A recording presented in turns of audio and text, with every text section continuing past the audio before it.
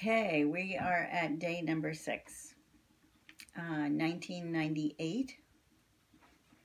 You see, by 1998, I was done having children. Uh, Clara was born in 1994. So my youngest was four years old, which means that that was the year, let's see, 1998 Mara turned um, 21. Long years of childbearing. 1998 through 2007, Center Tuftonboro. A long life sees times of great blessings and seasons of deep suffering. May Dave's words of wisdom help you drink in God's grace through the difficult stretches that come to us all. I am eager to see what this is. Number seven. Oh.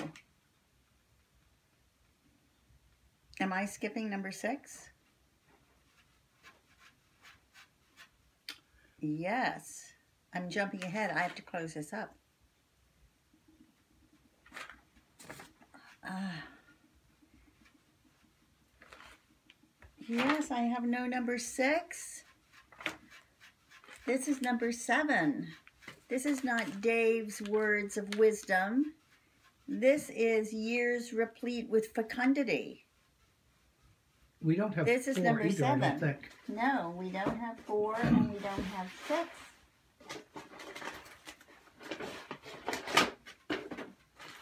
I have eight for the years to come.